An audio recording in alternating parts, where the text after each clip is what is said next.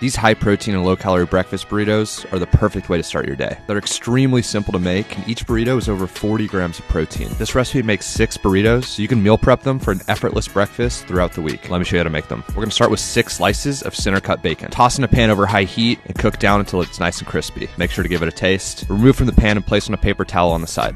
Wipe down that excess grease. We're gonna use chicken sausage for this one. Remove the casing if yours has one, and dice into small pieces. Toss that in the same pan you cook the bacon. Toss in about a tablespoon of honey for sweetness. You could also use maple syrup. Now I'm going to show you the key to make good tasting egg whites. Add a little bit of cornstarch, a little bit of egg whites, and mix to make a slurry. Add in the rest of your egg whites, followed by some sharp cheddar cheese, salt, pepper, and garlic. This part might surprise you, but I truly believe the best way to make egg whites is to microwave them. This steam cooks them and ensures they don't get super dry cooking in the pan. They come out fluffy and delicious every time. Now all that's left to do is assemble your burritos.